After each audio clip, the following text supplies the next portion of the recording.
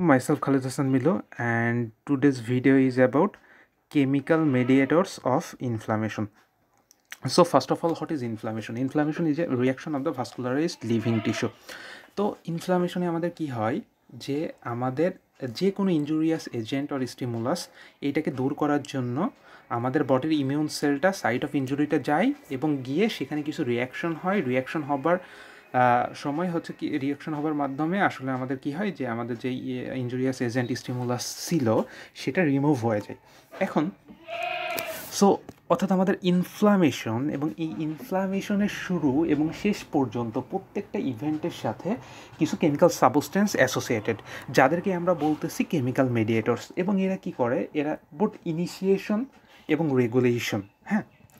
সব কিছুতে কেমিক্যাল মেডিয়েটার্সের ভূমিকা রয়েছে। যেমন আমি যদি খুবই ইজিলি মানে যদি বোঝানো, বোঝানোর জন্য যে আমাদের যে ইনফ্লামেশনের কি রয়েছে অ্যাকুট ইনফ্লামেশনের প্রথমে রয়েছে ভাস্কুলার ইভেন্ট সেলুলার ইভেন্ট এই ভাস্কুলার ইভেন্টের ভিতরে যে ভেসোডাইলেশন আছে ইনক্রিজড ভাস্কুলার পারমিয়াবিলিটি আছে এবং স্ট্যাসিস এই টোটাল বিষয়টা ভাস্কুলার ইভেন্টের বিষয়টা কিছু কেমিক্যাল মেডিয়েটরস রেগুলেট করে। এরপরে আমাদের যে হচ্ছে সেলুলার ইভেন্টস হলো দ্যাট মিন্স লিউকোসাইট এক্সট্রাভ্যাসেশন এইটাও কিছু কেমিক্যাল মেডিয়েটার্সের মাধ্যমে হয়, যেমন সাইটোকাইন্স আছে। হ্যাঁ এবং আলটিমেটলি আমাদের ইনফ্লামেশন হয়ে, ওখানে কি হবে? ইনফ্লামেশনের কারণে আমাদের কিছু বডিতে কিছু ইফেক্ট দেখা যায়।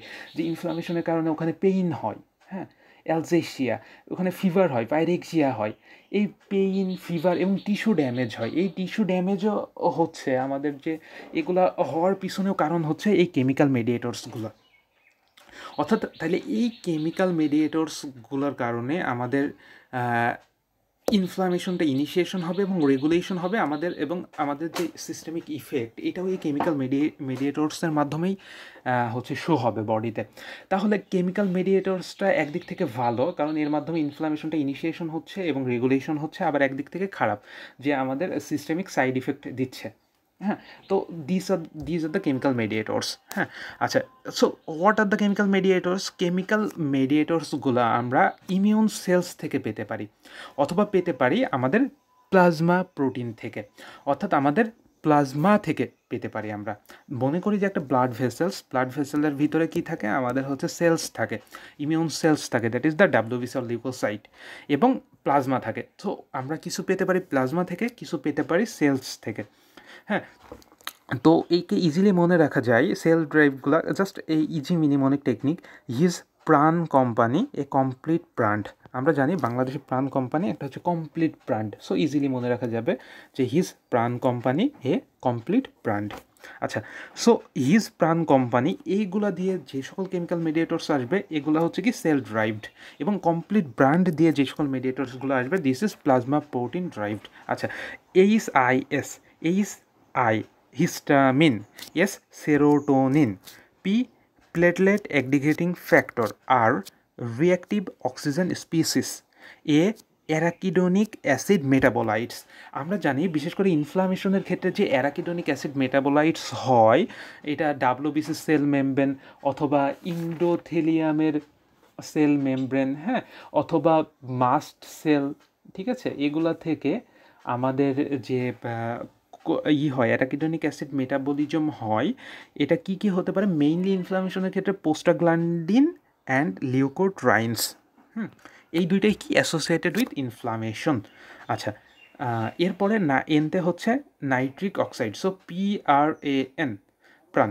আর কোম্পানিতে, কোম্পানি শুধু আমরা সি দিয়ে দুইটা মনে রাখব cytokine and chemokine cytokine and chemokine okay so histamine serotonin platelet activating factor reactive oxygen species eth acid metabolites and nitric oxide c the cytokine and chemokine his Pran company. These all are cell derived অর্থাৎ এইগুলো either endothelial cell either macrophage either mast cell or either leukocyte এইগুলা থেকে অথবা either basophil platelets এইগুলা থেকে আমাদের এই জিনিসগুলো মেইনলি আসবে।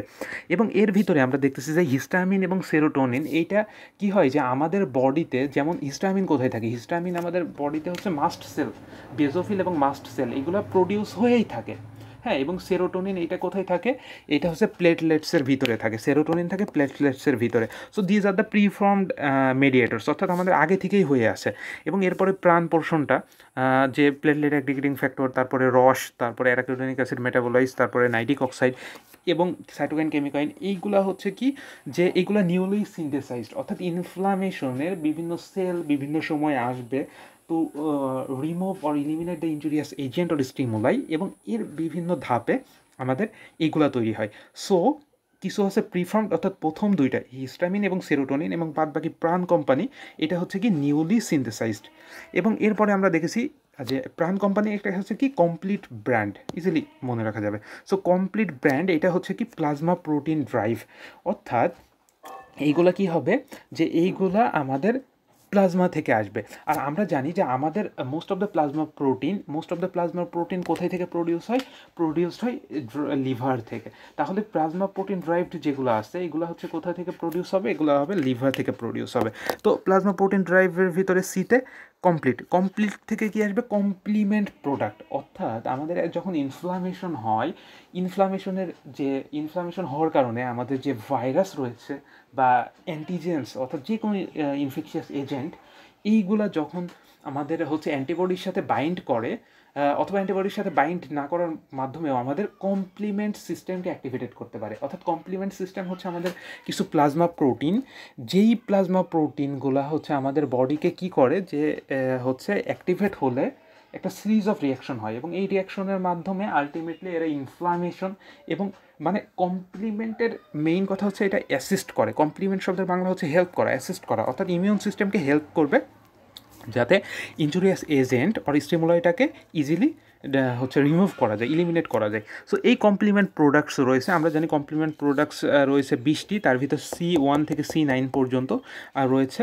এর ভিতরে C five B C six C seven C eight C nine এটাকে বলে মেমবেন অ্যাটাক কমপ্লেক্স কমপ্লেক্স কারণ কমপ্লিমেন্ট সিস্টেম অ্যাক্টিভেট হওয়ার পরে এই অংশটা এই অংশটা কি করে? এই অংশটা আমাদের ভাইরাস বা ব্যাকটেরিয়া সেল মেমব্রেনের সাথে লেগে যায়।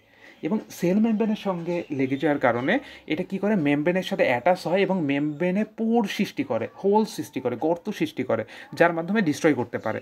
হ্যাঁ এবং ব্র্যান্ড ব্র্যান্ডে হচ্ছে ব্রাডিকিনিন সো কমপ্লিমেন্ট সিস্টেম এবং ব্রাডিকিনিন এইটা হচ্ছে কি? এটা হচ্ছে plasma protein derived so these are the mediators of inflammation যা ইনফ্লামেশনের শুরু এবং রেগুলেট করবে এবং সাথে সাথে আমাদের বডির যে ইভেন্ট হ্যাঁ বডির ইভেন্ট এবং হচ্ছে কি যে সিস্টেমে কিছু ইভেন্ট হয় ইনফ্লামেশনের fever pain and tissue damage ঠিক আছে? যেমন ফিভারটা করে হচ্ছে আমাদের হচ্ছে কিছু কেমি সাইটোকাইন্স আছে interleukin one tumor necrosis factor prostaglandins pain করে প্রোস্টাগ্লান্ডিনস অ্যান্ড ব্রাডিকাইনিন আর টিস্যু ড্যামেজ করে lysosomal enzymes of leukocyte and reactive oxygen species that is the free radicals so এই ইভেন্টগুলোও করে কেমিক্যাল মেডিয়েটর্স এখন কেমিক্যাল মেডিয়েটর্সের সাথে ট্রিটমেন্ট ড্রাগ ট্রিটমেন্ট অর্থাৎ আমাদের যে ট্রিটমেন্ট ক্রাইটেরিয়া ট্রিটমেন্ট সিনারিও রয়েছে দ্যাট ইজ দ্য হচ্ছে non steroidal anti inflammatory drugs এগুলো কেন দেওয়া হয়? কারণ ইনফ্লামেশনের যে সিস্টেমিক ইভেন্ট অর্থাৎ আমাদের টিস্যু ইঞ্জুরি হচ্ছে পেইন ফিভার এইগুলাকে প্রিভেন্ট করার জন্য এই ড্রাগগুলো দেওয়া হয়। এইগুলোকে দেওয়া হয়। হচ্ছে যেমন হচ্ছে ফিভার পেইন করার জন্য অ্যান্টিবায়োটিক ড্রাগস হ্যাঁ? তারপরে পেইনের জন্য হচ্ছে অ্যালালজেসিক টিস্যু ড্যামেজের জন্য anti inflammatory drugs so these are given to হচ্ছে to get release from this chemical mediators so তাহলে দিস কেমিক্যাল মেডিয়েটর্স ইনফ্লামেশন ইনিশিয়েশনের জন্য ইনফ্লামেশনটা রেগুলেট করার জন্য এবং ইনফ্লামেশনের যে সিস্টেমিক ইভেন্ট ওইটার জন্য হচ্ছে অ্যাসোসিয়েটেড এবং এই কেমিক্যাল মেডিয়েটরসগুলোকে যদি আমরা ব্লক করে দিতে পারি, তাহলে আমাদের যে systemic events fever pain tissue damage এগুলো তাহলে হবে না। So this is very important thanks thanks for watching this video please do subscribe in my channel thumbs up the like button